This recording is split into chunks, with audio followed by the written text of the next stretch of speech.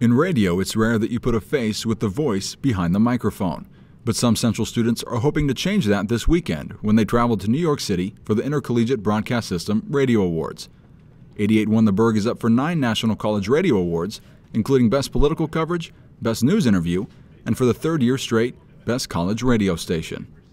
Uh, I'm excited to go to New York City. I think everyone's really excited to do that. But I'm more excited to really represent 88.1 The 'Burg and Central Washington University. And uh, I'm just grateful for all the opportunities they, uh, they have really given us.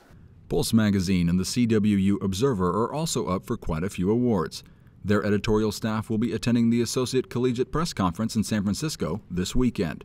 Pulse and the Observer have previously placed as finalists in the National Pacemaker Awards, as well as receiving the top honor of Best in Show, the major prize Pulse is hoping to bring home this weekend.